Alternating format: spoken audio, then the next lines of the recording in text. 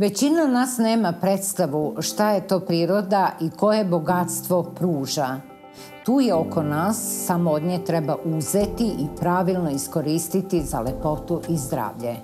Okrenite se oko sebe i uživajte u onome što vam je priroda dala. Istina je da kada smo pod stresom, svi reagujemo različito. Tako možemo imati osjećaj da nam se vezao stomak pa ne jedemo ništa ili osjećaj rupe u stomaku zbog čega se višestruko preteruju sa unosom određene vrste hrane. Najčešće to su testenine, grickalice i slatkiši.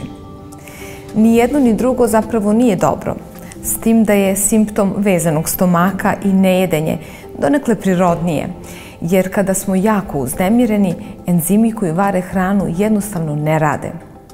Samim tim varenje je vrlo otežano i razvučeno. Baš zato se u teškim periodima rapidno doda ili gubi 5 do 10 kg u neprirodno kratkom roku. Na sreću, ubrzo, uglavnom sve dođe na svoje. U trenucima stresa uvek je dobro da pijemo što više tečnosti. Toplu limunadu, topli čaj od nane ili matičnjaka, sa malo žalfije ili bez. Dobro je cediti citruse sa đumbirom i cimetom ili malo meda. Kafa nije dobar izbor, jer bi dodatno postakla anksioznost i nervozu, baš kao i alkohol.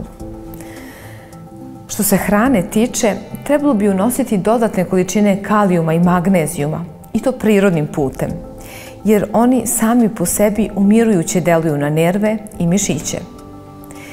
Najbolji način su topli pireji od raznih vrsta povrća, tople čorbice i potaži, kašice od žitarica, kukuruznog ili heljinog brašna sa biljnim mlekom ili nekoliko maslina.